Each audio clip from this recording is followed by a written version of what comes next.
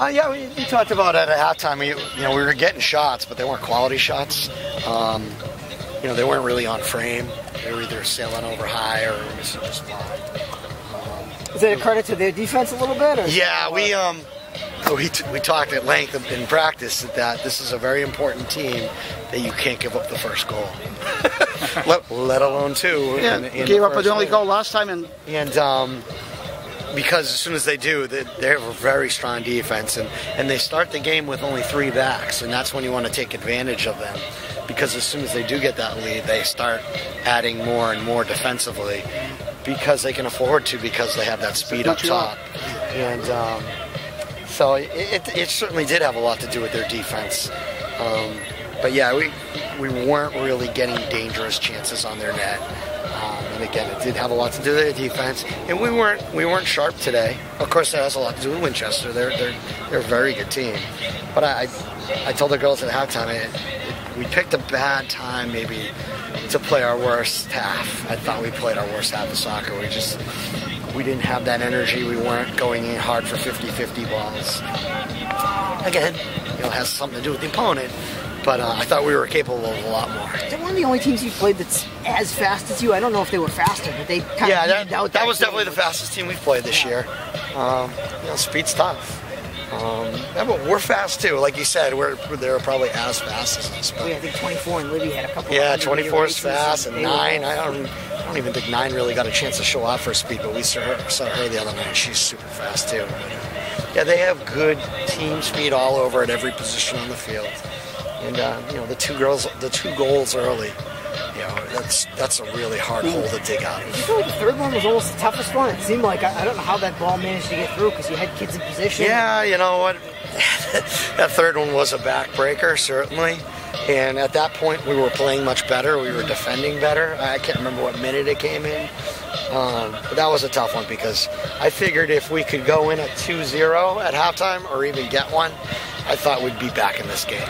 And even when we got the penalty kick um, and it got to 3 to 1, I thought we were really just that one goal away from, from possibly getting back in this you know, credit them. Their defense hung tight, um, and we just didn't didn't get the chances that we would get in, in all, all the other games we've gotten this year. It's a tremendous season. I mean, what do you say about the older girls? That, Yeah, the know, seniors are great. I mean, you know, they're going to look back on this a couple days from now, maybe a maybe a couple weeks from now, and realize uh, they went they played in three North finals, back to back to back. They won the program's only state title, which which is incredible, and it just says a lot about the seniors. They're they're uh, first of all they're fantastic players, but they're leaders. Um, they're unselfish. I told the girls 20 years of coaching, this is the most unselfish team I've ever had. It's like stats didn't matter. You know who scored goals, it didn't matter. They were so unselfish, and that, that's a pleasure to be around. Um, but it, the, the, the seven seniors, the two senior managers as well, just great, great kids. We're, we're gonna miss them. Is that the first group that's been to three in a row? I know you've been to two before, but I can't remember. Yeah, probably. I I don't think we've ever been to three in a row. I mean, some of the kids coming back. I mean, not like Bezanson, that's a lot to build on for the next few years.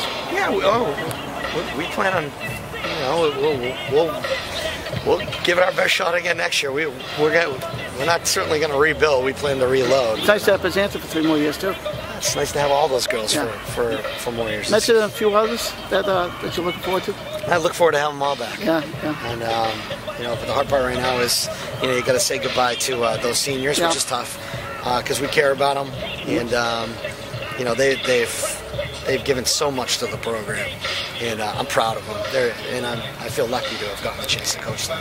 For those seniors, do they do you feel that they have a sense of what it's like to be back at these big games again? Definitely. Yeah. Oh, definitely. I mean, every girl that played in the state final last year, I felt kind of had an edge coming through the tournament because they know what it takes. They know what it takes, and um, until you actually get over the hump and get that, you really don't understand it. So I felt like they had, sort of had that understanding this year, but it's hard. It's really hard to get there.